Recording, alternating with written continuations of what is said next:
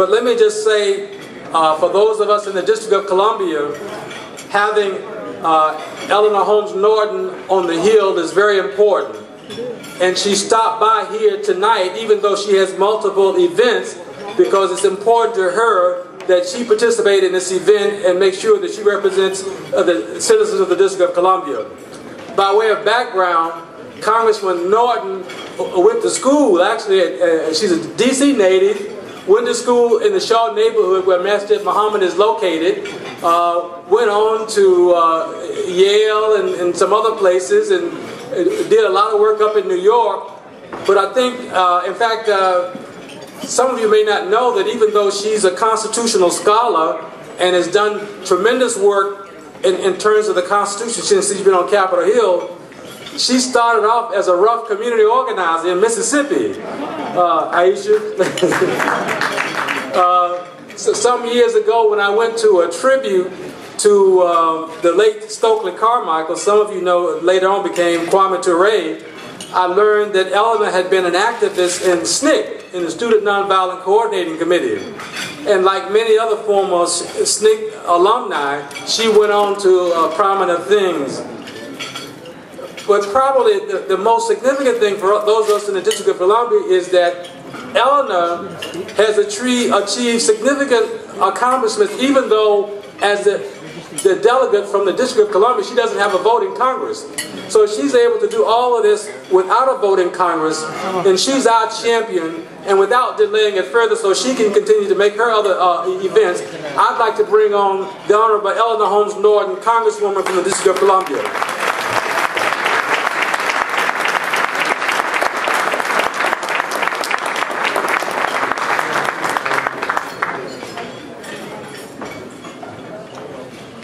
Thank you very much. There's nothing like being introduced by a good friend and a constituent. Uh, and I, uh, I second the motion that people should continue eating.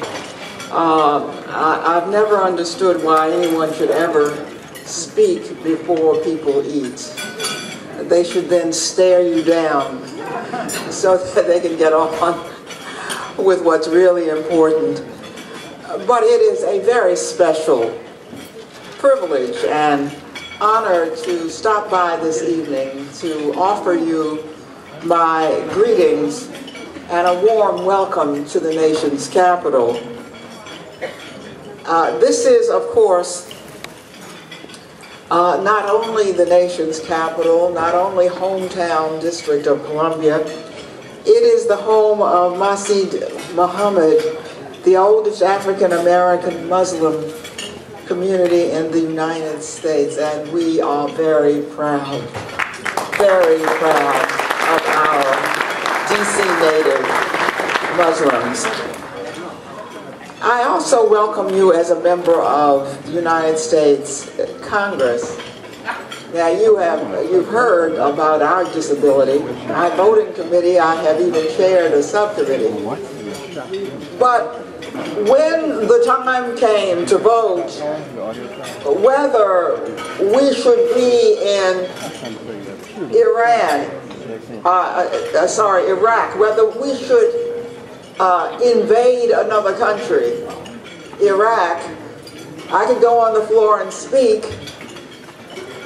but I could not vote, even though I have gone uh, to Arlington, to the funerals, of young men from the District of Columbia who participated in uh, that war and have participated in every war since the creation of the United States of America itself. That is why when you go into the street, you will see license plates that say taxation without representation. You are in the only place in the United States where that war slogan of the Revolutionary War still holds true. I, I am particularly uh, proud to serve in the House of Representatives with two distinguished colleagues of the Muslim faith, good friends and brothers of mine. Representative uh, André Carson, whom I, I saw speaking by remote from, uh, from Indianapolis, Indiana, and of course Representative Keith Ellison of uh, Minneapolis, Minnesota.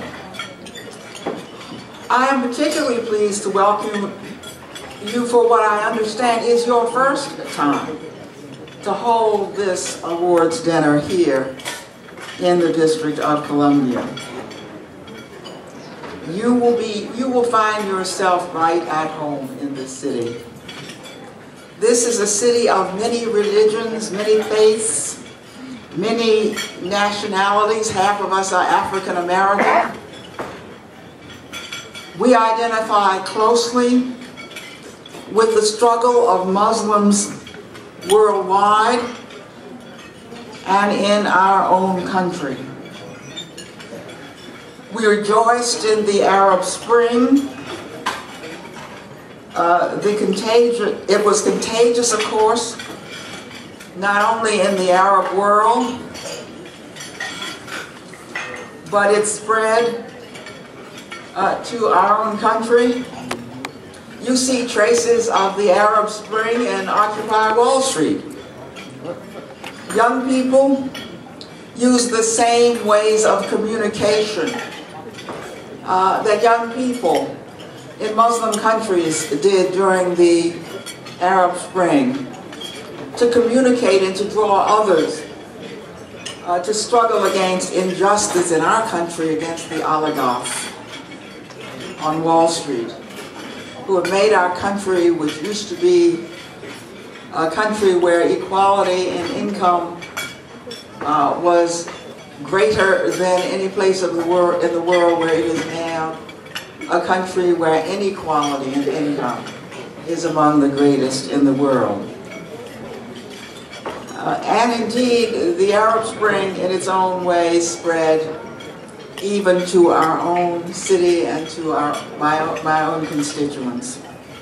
And Congress tried to dictate how the District of Columbia could spend its own taxpayer-raised funds. We raised $5 billion in this city on our own. When Congress tried to dictate how we might spend our own local taxpayer-raised funds, local government officials led citizens in civil disobedience. This city is repelled by especially the open bigotry and discrimination against our Muslim brothers and sisters. We see this Islamophobia across our own country which fancies itself among the most tolerant in the world. We saw it in the resistance to a mosque uh, a few blocks uh, from the World Trade Center, even in progressive New York City. And despite the endorsement by the mayor of that city, uh, I stand with the President of the United States, uh, and I'm quoting him uh, at the annual Iftar on the eve of 9-11 last year. I believe that Muslims have the same right to practice their religion everywhere in this country, and that includes the right to build a place of worship and a community center on private property in lower Manhattan in accordance with the local laws and ordinances.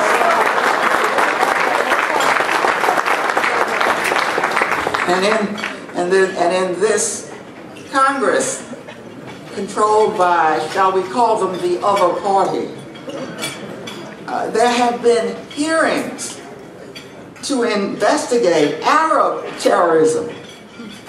And when members of the committee uh, asked that other forms of terrorism also be investigated and that we not single out people of any single nationality, the chairman of that committee refused to consider any any investigation, even though there have been recent terrorist events in our own country by American citizens.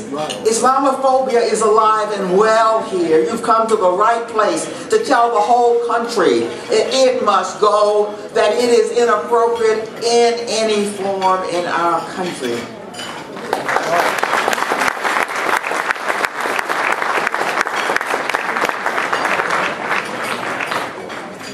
The United Nations declared today, Saturday, December the 10th, I'm not, I don't know whether you, uh, uh, whether you uh, decided that this was exactly the right day to come to Washington, but you have come to Washington on what the United Nations has declared as Celebrate Human Rights Day. Whoa. You're in the right place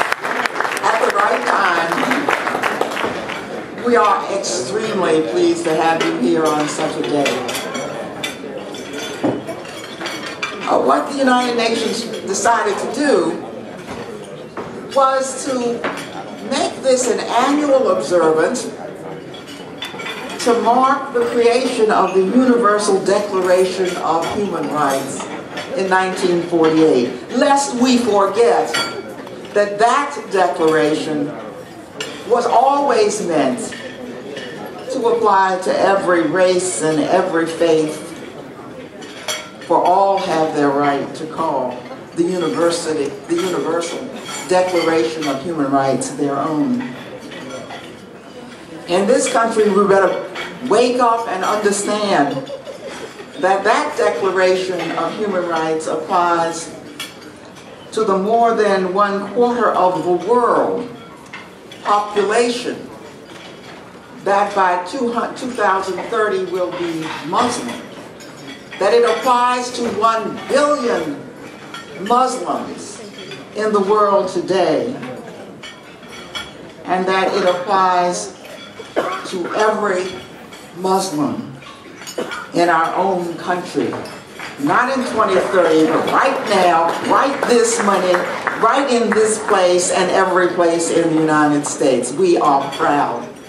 We of the District of Columbia, your nation's capital, are proud that you have chosen to come to the District of Columbia, to your nation's capital for the first time. And I am here uh, to say that I hope you will come again and again. And let your presence be known let the world know that in our midst also are millions of Muslims among us, our brothers and our sisters. Welcome, brothers and sisters.